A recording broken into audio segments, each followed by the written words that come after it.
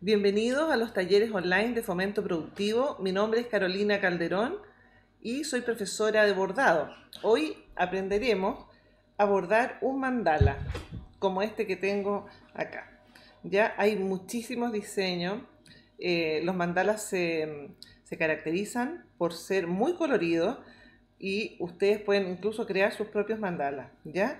Para esto vamos a necesitar los siguientes materiales vamos a necesitar un género que no sea ni muy grueso ni muy delgado, una aguja con punta, lanas de diferentes colores, ojalá colores bien, bien llamativos, ¿ya? Porque los mandalas, los mandalas se, caracterizan por su colorido tan, eh, tan fuerte.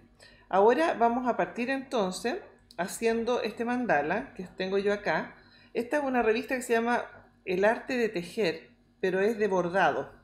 Les voy a mostrar su, tapa. Esta es la revista. Pero hay muchísimas revistas mm, que venden en kiosco. Bueno, en este momento un poco más difícil, pero yo sé que ustedes, ustedes son bien creativas y podrán hacer sus propios mandalas, crearlos. Ya vamos a partir entonces por el centro y vamos a hacer un telar redondo en el centro, ¿ya? Vamos a hacer primero, vamos a bordar las patitas de, afuera hacia adentro, siempre tienen que ser patitas impares, ustedes saben, para que resulte nuestro telar, ¿ya? Ahí. Yo les voy a ir haciendo una muestra de cada punto de nuestro mandala. Así, ¿ya? Ahí. Vamos a hacer, en este caso, siete, siete patitas. Así es muy entretenido porque uno va cambiando de color, de colores, de lana, va variando en los puntos, entonces se hace muy entretenido de bordar. Puede servir esto para hacer un cojincito, para hacer un para enmarcarlo. Así. Entonces, cuando terminamos las patitas, salimos por por el lugar más cerquita del centro, ¿ya? Con, con la lana. Y empezamos y vamos por con la parte de atrás de la aguja, vamos por arriba de este y por debajo de, lo, de la otra patita. Y vamos avanzando por arriba y por abajo. Y nos va quedando nuestro, nuestro telar. Así vamos avanzando, arriba, abajo. Y cuando fuimos por arriba, a la vuelta vamos a ir por abajo, como son impares. Y así funciona esto ahí y vamos a ir por arriba y por abajo. Vamos a ir dando la vuelta y nos va a ir quedando así. Como, como una florcita, como un botón de flor. Lo importante acá son los colores que elijamos, que sean bien alegres, ¿ya? Llamativos, calipso, azulino, verde, rojo, entonces así vamos dando la vuelta y vamos a hacer nuestro telar redondo. Ahí. Por arriba y por abajo. Con la parte de atrás de la aguja van pasando. Recuerden que yo estoy acá para responder sus dudas. cualquier pregunta que me quieran hacer en este momento, me la pueden hacer en el chat que está a la derecha de su pantalla y yo estaré ahí respondiendo sus, sus preguntas. Así vamos terminando entonces nuestro telar redondo que es el centro de nuestro mandala. ¿ya? La idea es terminar una vez que hayamos tapado todas estas patitas que le llamo yo. Ustedes se van a dar cuenta que ya terminamos cuando las patitas ya no se vean. Miren. Así, ¿ya? Acá. Ahí. Y ahí. Terminamos entonces. Ahí, perdón. Acá faltó cubrir solo esto. Ahí. Y vamos a ir entonces con el otro punto. Vamos a hacer una cadeneta. Damos la vuelta como siempre, y por atrás damos, hacemos un pequeño nudito con la lana y cortamos.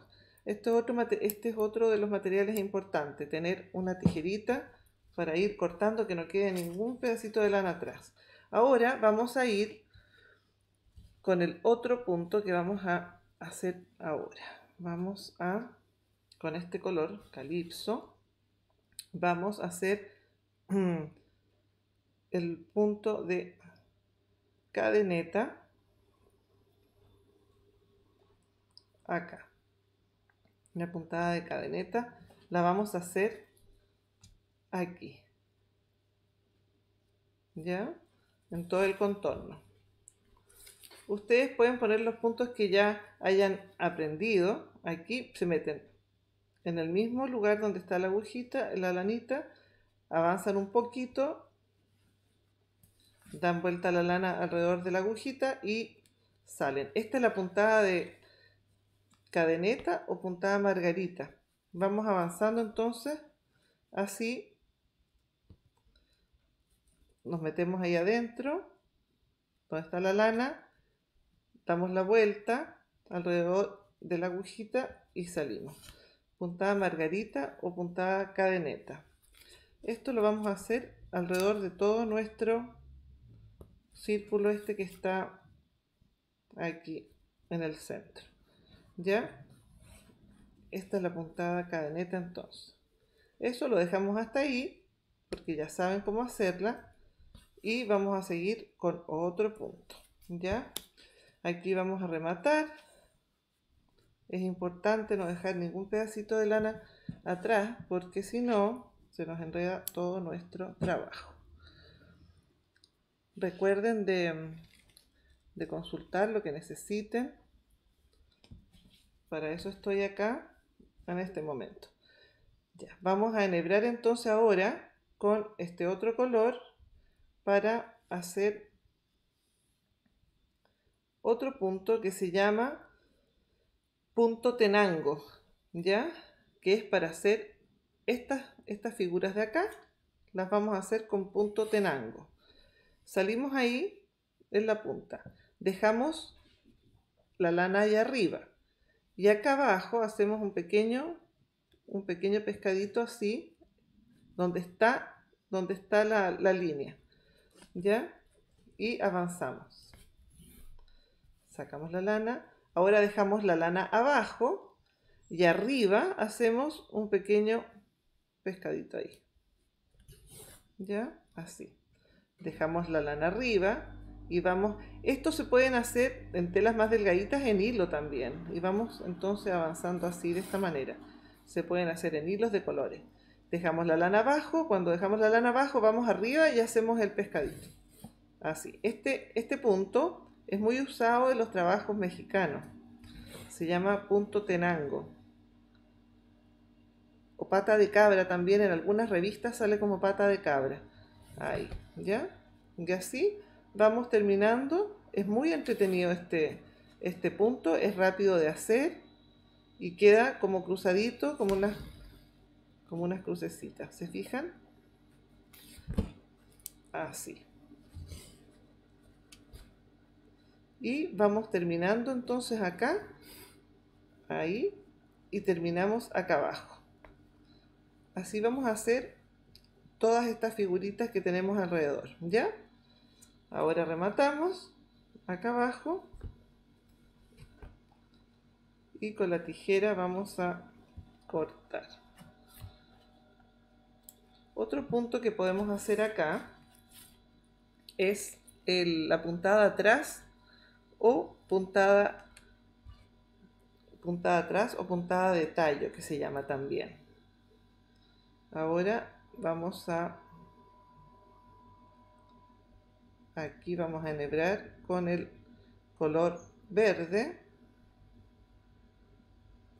Ahí ya vamos a hacer siempre nudo atrás. La idea es hacer puntos novedosos entretenidos. Eh, esta puntada cadeneta también la podemos poner acá afuera, ¿ya?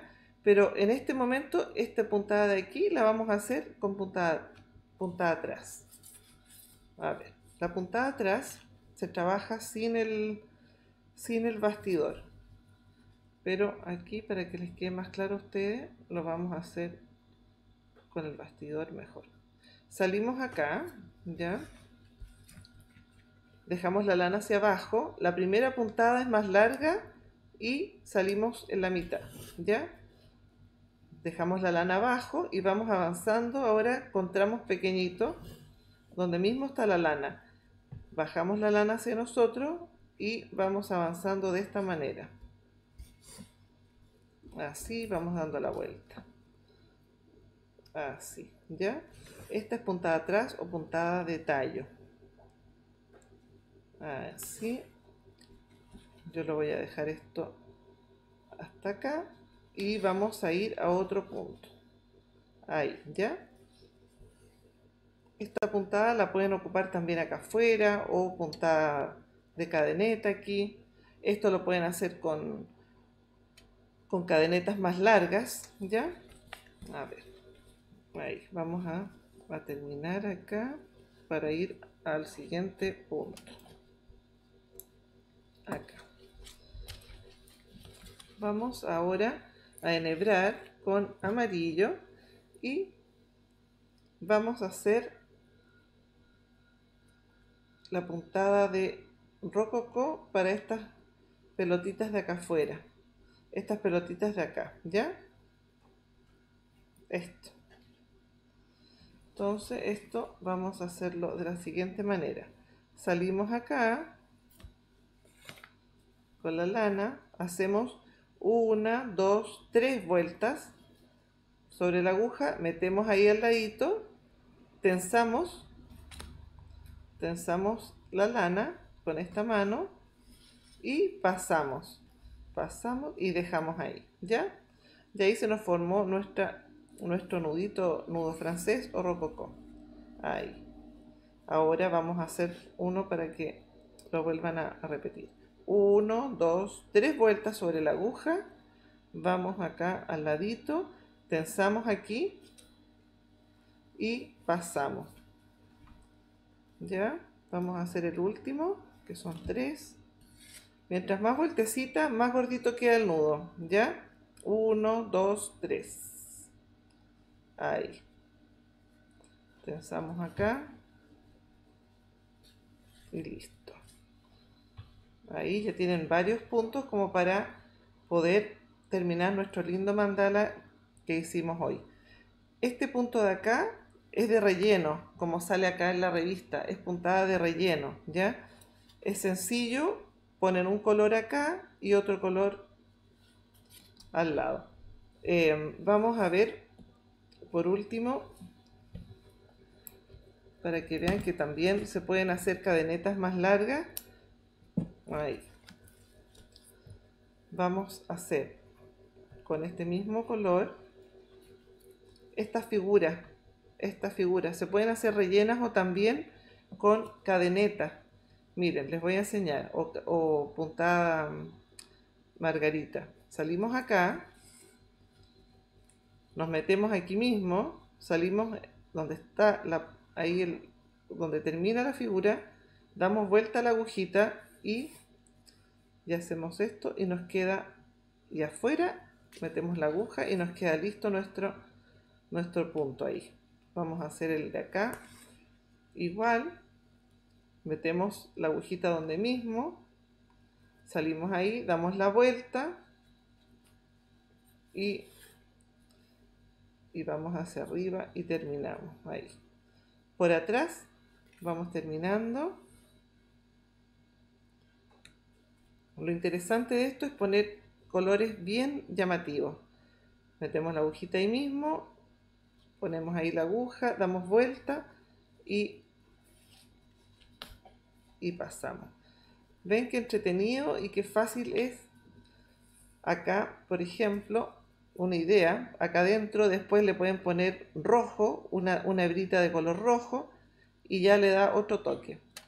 Espero que les haya gustado nuestro nuestro mandala de hoy, nuestro curso y mm, cualquier consulta ya saben que pueden preguntarme, yo voy a estar eh, respondiendo en el chat que está a la derecha ahí de su pantalla y nos vemos en una próxima oportunidad y que esté muy bien.